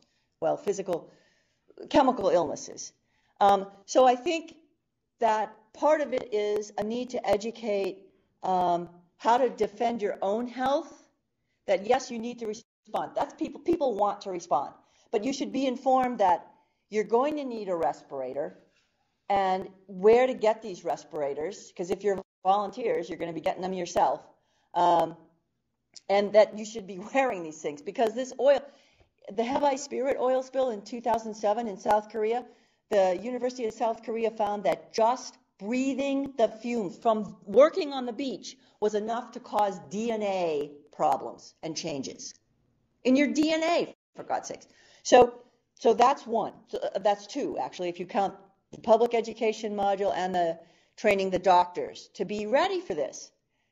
Otherwise, your specialty person is in Detroit, Michigan. You know, that's too far away. You need doctors who are trained for the accidents that could happen and the exposures that could happen in your community. Um, another component of that is how do you do your own air quality and water quality sampling? Um, because EPA is dealing with laws that were established in the 1970s. Well, in the 1970s, the level that was thought to be safe was here. Now we know it's down here. Now people are getting sick below the level that's safe. So those laws haven't changed. So what people need to do is like uh, the bucket brigade. You need to be ready to do your own air quality monitoring, your own water quality monitoring, and you should definitely be doing your own baseline uh, human health sampling to prove that your body before this disaster did not have, for example, 95 percentile oil in your blood, like people have in the Gulf, including two year old children, up to 80 year olds plus, of oil in their blood. They breathed this stuff, it went right into their bodies. But how do you prove it? You know, will you, number one, hopefully wear a respirator so this won't happen. But the problem is, the people all along the coast got sick because you're in it 24 7. So even if you go work, then you come home, you're still breathing the same air. So there was, you know, significant exposure problems to the point where I would actually hope during an oil spill response that people actually get evacuated. That's how bad this is, all right? Um, this is like hazardous substance. Don't think of oil anymore as the benign thing. This is hazardous substance. If you're going to stay and be in it, you're potentially risking your health and your children's health because the children are smaller, they're lower to the ground, they're breathing these heavier oil molecules that, that don't float so high in the air. Uh, look what happened after the tar sand spill. I, I was in Michigan after the tar sand spill with Enbridge. I was in Arkansas after the tar sand spill with Exxon, the Pegasus. Exxon only evacuated, for example, in Arkansas, the immediate neighborhood where the oil rolled down the street. Well, not the neighbors on the other side of those on this street, you know? So, not the school that was five blocks away. All the kids are starting to throw up, which is what they did in Michigan, right on the river, on the Kalamazoo River. And the school, EPA, and came and tested the air up here somewhere. The kids are sitting here, they're breathing this air. Kids got sick, no explanation for it. So you've got to be prepared to defend yourselves, okay? Um, and then beyond all that, then you can talk about oil spill response. So I think part of what will get people excited uh, and, and excited in terms of whoa, maybe we we want to either a want to respond to this or b want to get out of here um, is you know, I think it's critical to learn about environmental medicine, get this education module in, get the doctor training going, um, prepare yourselves. Where are all your respirators? Do you have a stockpile of respirators in your community? Um, and then we just. I think we need connexes with boom, and all the fishermen need to. I think. Hi, my name is Dorinda, and I worked on the Exxon Valdez oil spill from the beginning to the end. I was in charge of the bioremediation. I um, own property in Anchor Point, and the Buccaneer is drilling seven miles north of me. We haven't built our new home. This is my husband, Steve Brazina, retired Air Force. And my concern from Anchor Point to Seldovia is that we don't have connexes with booms. I know how to drive a boat. I fished Prince William Sound, and it was devastating. I cry. You know, Stan Stephens did a very good job at giving us a baseline on our books of what lives. And in Seldovia, At low tide at 29 feet, it will take less than 25 minutes from the Buccaneer accident to hit you within less than a half an hour. Do you have a Connex with boom? Do you have fishermen that will go out there with respirators in the storm with buoys to anchor down and prevent the oil from hitting your shores? And when you come home with oil, can you take that gear off and have another $1,500 gear to put on and get back out there to make sure the booms don't break until you get more help? That's miles. I have taken maps and I have I have taken my wheel and I have you know thought about how many minutes it's going to take to hit because I was on the DB100. I was on the on the largest oil rig, the largest political boat. I was there morning and evening. I lived in Valdez for many, many years since I was 18, and lucky Cordova's fishermen got together and saved their waters. Take the experiences from the Cordova fishermen, get as many young people together, and make sure you have connexes full of diapers, boom, respirators, extra Helly Hansens, you know, response, EMT one, two, and three ready to go. Because once you get hit, it will be there forever. Thank you. We're full of cheer, cheery news here.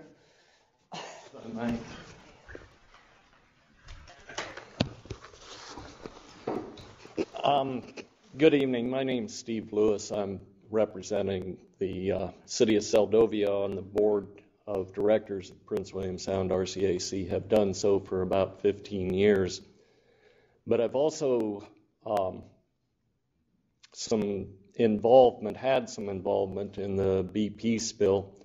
I was on the uh, President's Commission for uh, the investigation of the spill, and I also worked for the uh, Department of Justice on post spill uh,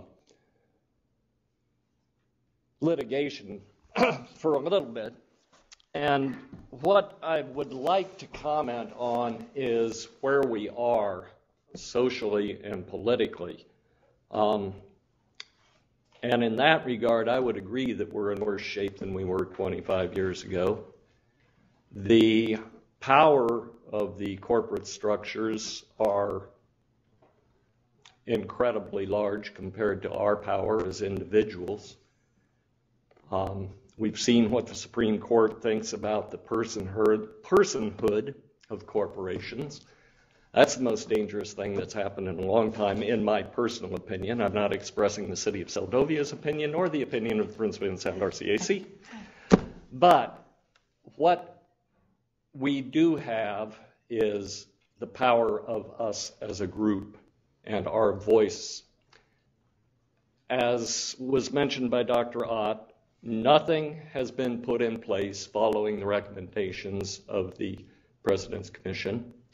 There's been no change in legislation. There's been, in fact, a, to my mind, regression in the attitude towards spill response and spill liability in terms of this focus on dispersants, um, in terms of the focus on, oh, we now have technology that allows us to maybe not be dependent upon importing, but maybe we can actually export and make a whole bunch of money by doing it. Um, we've got our priorities backwards. As I said, though, what we have is power as a group. What you have to do, though, as a group to exercise that power is to convince your elected legislators that they need to change what they're doing. That's an extremely difficult thing for us to do. I don't know how we do that exactly, or I'd be out there doing it. The only example I can give is that I've seen a little exercise in local mobilization recently in the legislature in Juneau um, concerning funding for the Kachemak Bay Research Reserve. There was a sudden, very vocal input from the public from agencies and to a certain extent from a few industry groups concerning the proposed cut in funding for that group. And lo and behold, the legislators realized that this was something that was important to their constituents and that maybe they should try to do something about it. And they are making efforts that way. It's not solved, but it looks like it might be. My point of bringing this up as an example is that's one small case of the public speaking together as a group directly to the legislators. And that's where you've got to go, I think, is directly to the legislators. Um, you've got to come to them with a voice that's united. You've got to come to them with a voice that's technically sound. And you've got to come to them with a voice that carries personal conviction of your group. Those, those are just my personal thoughts on it. I, like I said, I'm outside of being directly involved with it. I don't know how to do that. I don't know how you get everybody together to move this sort of thing forward. The, the people who we elect and send to make our laws and make sure that our laws are enforced need to understand that we're the ones that count, not the business end, not the industry. And that, I'll let it go at that. Thanks.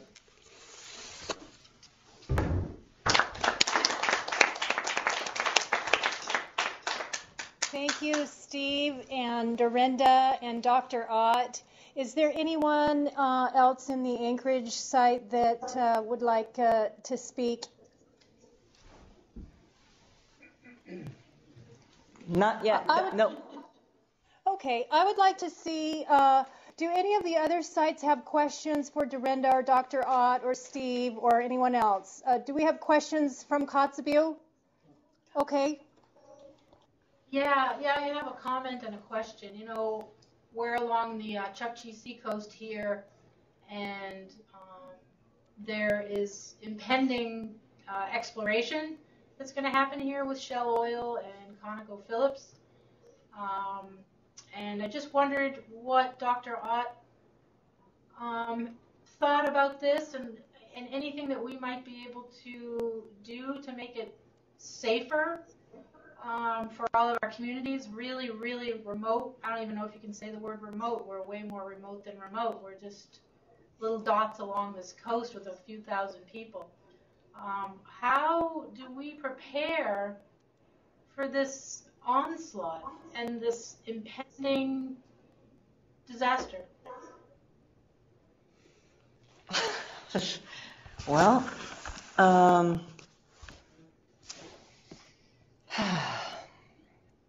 I mean, I wish I had a really good answer. Um, I've taken these two trips across the North Slope. Um, I know what remote means when you say remote. Um, and I just see impending disaster when I look at this clash of cultures. Um, and I, uh, the best I could offer in on the North Slope was uh, came out of Point Hope actually um, was offering that in the lower 48 um, and in other countries, the children are being trained to think about. Um, I don't even want to call them alternatives. I want to call them energy options because they are energy options. Um, the um, what would work up here are the, the, heat, the ocean pumps, the heat differential pumps, um, wind in certain areas, certainly sun in the summer.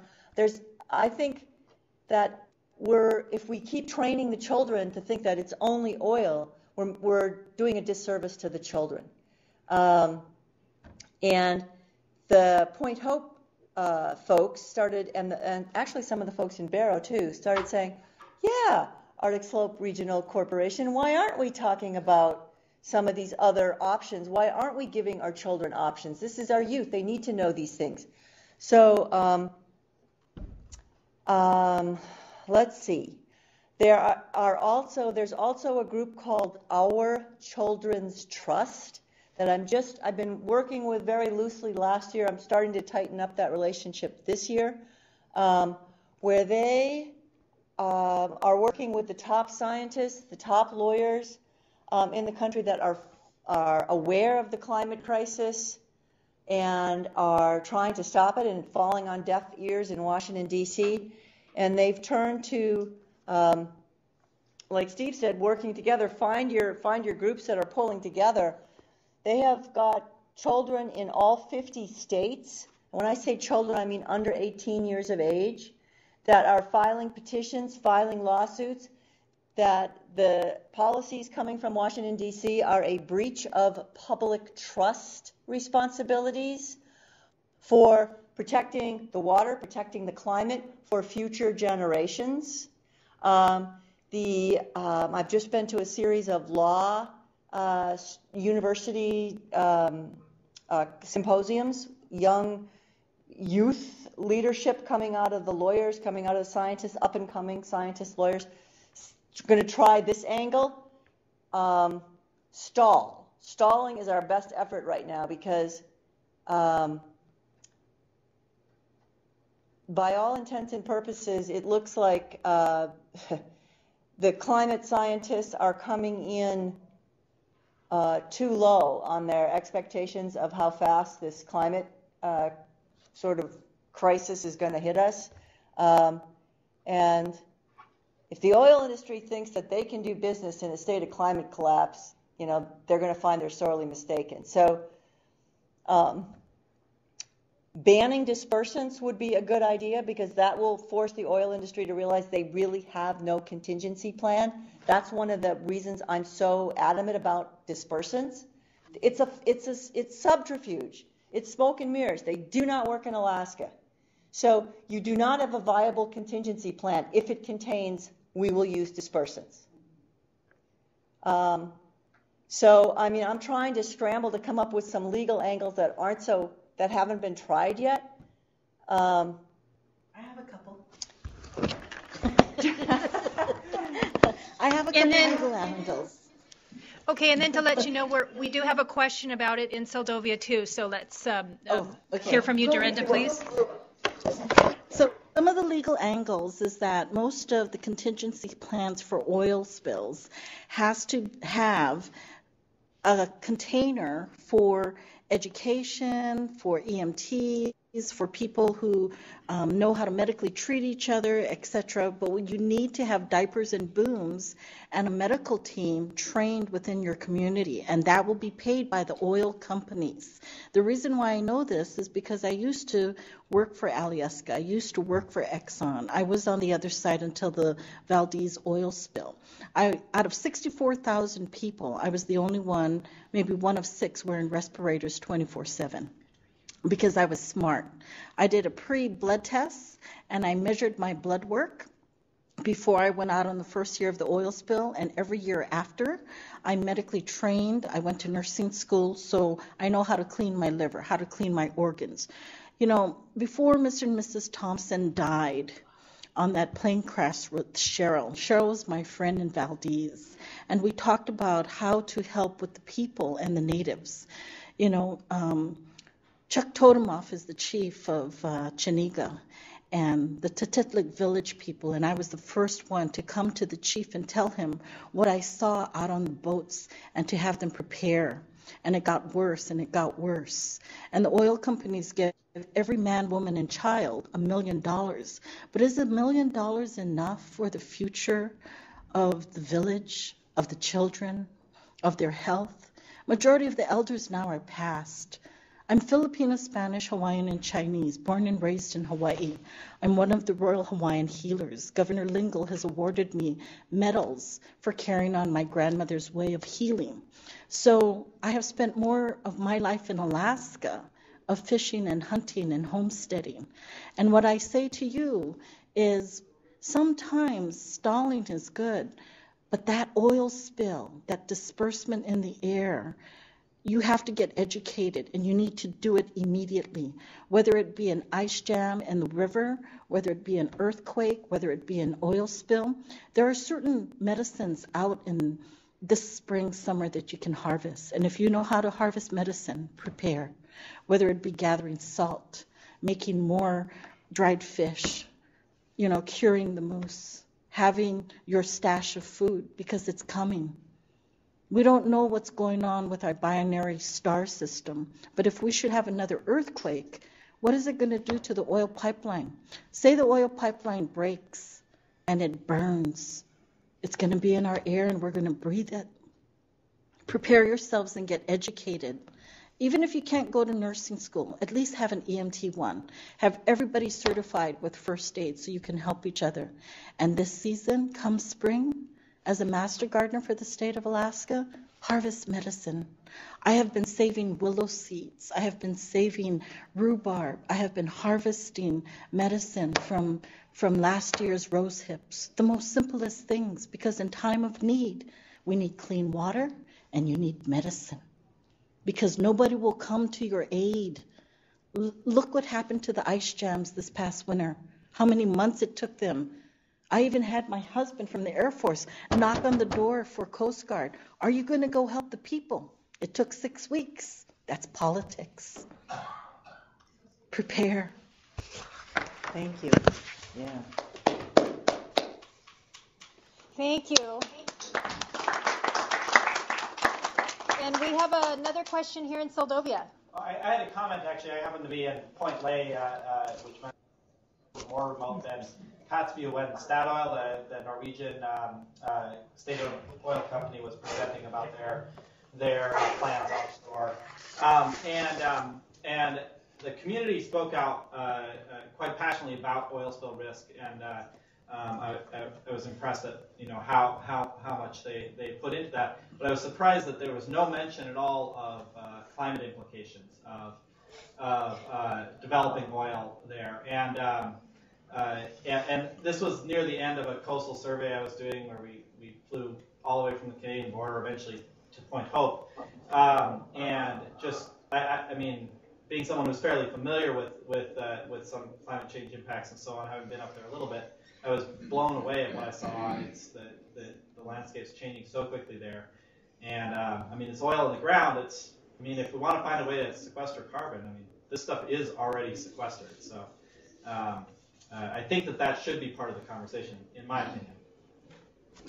Thank you. I just want to add, could I just add really quickly that um, I'm actually going to be in Homer, uh, well, tomorrow and um, Wednesday, and I'm giving a pre-screening of a film called Pretty Slick at the Pratt Museum, um, 7 o'clock to I think 9 o'clock. The doors will open at 6:30. I'll be there, of course, so um, I hope to see some of you folks um, there. It's the Pretty Slick is about the story of dispersants from the BP disaster. 70 minutes, and then we'll have a discussion afterward.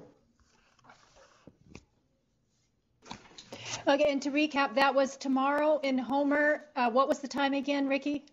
The I'll be in Homer tomorrow, but Pretty Slick is screening on Wednesday um, at the Pratt Museum, 7 to 9 p.m and it's going to screen, sorry, everybody, thir- uh, Thursday in Anchorage at the UAA uh, Student Union.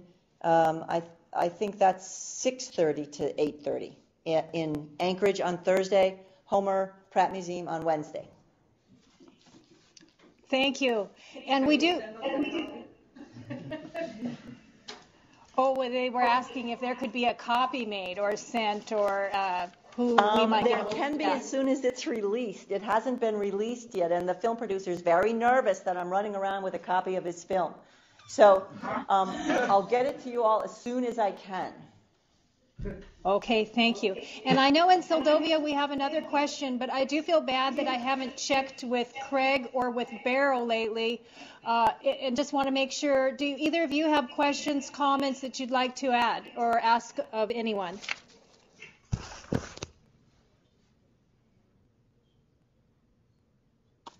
Okay, then we do have another question here in Seldovia from Sarah Baxter.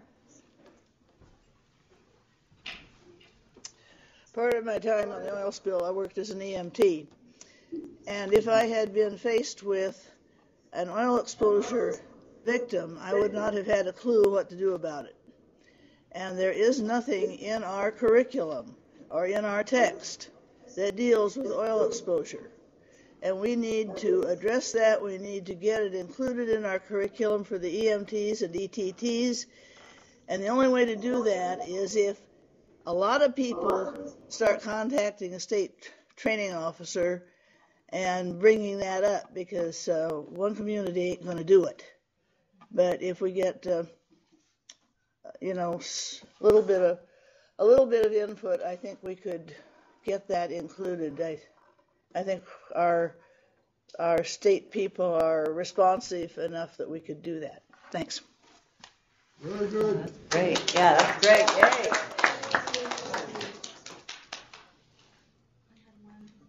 And we do have another question. Uh, this is from Camille Turner. Do I have to go up there? You don't have to. Oh, I just wanted the name again um, of the group. Can she hear me? Mm-hmm. The Yes. group of uh, the young people that were working together and trying to contact the legislators. Our Children's Trust. And actually, there was a, one of the early filers was from Nome, I think. It was a Yupik young man. Um, but anyway, uh, they've got a great website and they constantly need children. And the, the beauty of having children means that you have to be in the schools teaching them. And that's another thing that should be done. I mean, not only modules for EMTs, but modules for children too. Um, so um, try to get those as soon as possible. Thank you. And I do, I see we lost a couple of sites. I do want to point out before anyone from uh, Barrow goes, we're running a little over. Um, the OWL network, the Online with Libraries network uh, that all of your libraries participate in, is hosting for the next two Saturdays two video teleconferences on dispersants. The first is uh, called Chemically Enhanced Dispersion. These will be um, um, moderated by the University of New Hampshire. They will occur on Saturday from 2 to 3:30 this Saturday, and the following Saturday. uh, That one is titled "Effects of Dispersants in Oil." Um, and uh, you can attend those simply by asking your librarian to, to sign your library up for those conferences and learn a little bit more ab- about dispersants, a little more than what we discussed tonight. Now, I have a question. Um, this field is incredibly polarized, and anybody who's sponsored by oil money is going to say that dispersants are the best thing since peanut butter and jelly. Um, anybody who's been through one of these disasters, and who, or who, uh, I'm talking about res, ordinary residents uh, in counting, um, is going to say this is horrible. Uh, so, who exactly? Where could we find out who is uh, going to be actually speaking at this? At these? Uh, This is actually being presented by the Coastal Response Research Center um, for someone who's at the University of New Hampshire. I can find a name for you if you'd like. I'll check it out. I just want to add that on the OWL archive site, and Rose can help get you together with that, there are two video conferences already archived um, that come out of New Hampshire on oil and dispersants. So even before the upcoming ones, you can catch up and find out perhaps a little bit more about who the presenter is. Okay, great, thanks. And, and Barrow anything- is one of the sites that's planning to participate for those of you in Barrow that Barrow's already scheduled to be watching this. Okay, and then I was going to say, if anything, um, and you don't like the way that you're presenting, you can take the knowledge that you got here tonight and um, will you please uh, challenge? That would be my challenge to you. Um, and we'll see how that goes. Um, this has been a phenomenal evening. Um, grateful to every site for your participation. Grateful to the numerous Seldovians and oil responders who showed up uh, tonight. And um, I just want to extend a very heartfelt thank you to all of you, Dr. Ott, the Lewises, um, Dorinda, and your husband, everyone in Barrow who showed up, the Craig Library, Bear, um, Homer didn't make it, but they tried. And um, once again, the crowd in Seldovia, I, I thank you.